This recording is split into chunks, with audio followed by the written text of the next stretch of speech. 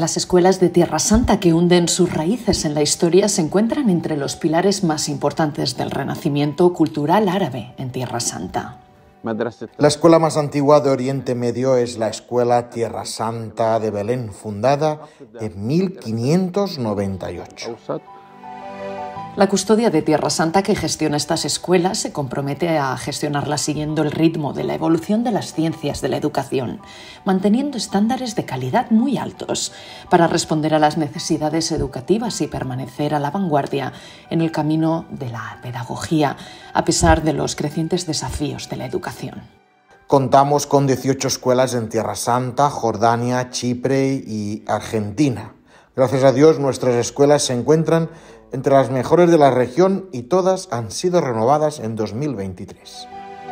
Estas obras de renovación incluyen la restauración completa de las escuelas de Nazaret y Acre y su infraestructura, la apertura de un centro cultural y deportivo único en la Escuela Tierra Santa de Jerusalén, así como un teatro de nueva construcción en la misma escuela. La lista es larga. En nuestro colegio, por ejemplo, hemos intentado ampliar la sección reservada a las escuelas de primaria y pronto abriremos una nueva. Las obras de renovación también afectan a la escuela franciscana para personas con discapacidad.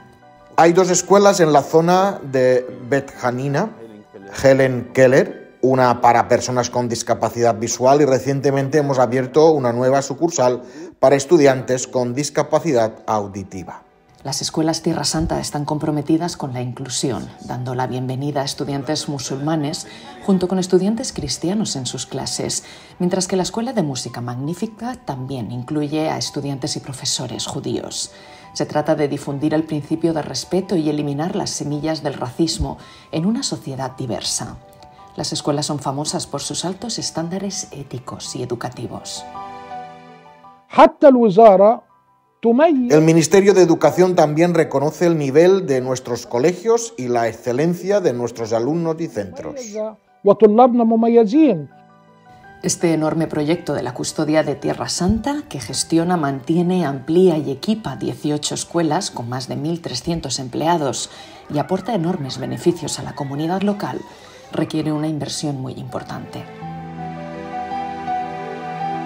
Solo en Belén el coste de nuestras dos escuelas es de aproximadamente 150 mil dólares al mes.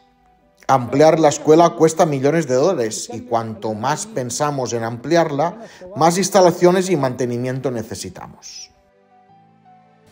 Abdelmasih Fahim, secretario general de las Escuelas Cristianas de Israel y director de la Escuela Amramla, cree que el Ministerio de Educación debería cubrir el 75% de los costes educativos, mientras que los padres deberían pagar el 25% restante. Pero la realidad es diferente. De hecho, vemos que el Ministerio ha ido reduciendo esta asignación hasta cubrir, según las estadísticas oficiales, solo el 34% de los costes. ¿Quién se ocupa del resto? ¿Y quién paga los costes de construcción de los edificios? ¿Y quién paga los costes de las instalaciones y servicios escolares? El Ministerio no cubre estos costes, por lo que necesitamos apoyo. Esta es solo una pequeña parte de los enormes costes que la custodia de Tierra Santa tiene que soportar para gestionar sus escuelas, ya que las actuales condiciones de guerra están agotando los fondos. La administración de Tierra Santa se encuentra en una situación difícil. La suspensión del turismo y la ausencia de peregrinos tiene un impacto enorme en la red de escuelas de Tierra Santa, porque dependemos de la presencia de peregrinos en los monasterios y santuarios, mientras que la custodia garantiza que las escuelas sigan funcionando. Operar en las circunstancias que vivimos no es nada fácil. Este es el mensaje que queremos dar a las autoridades.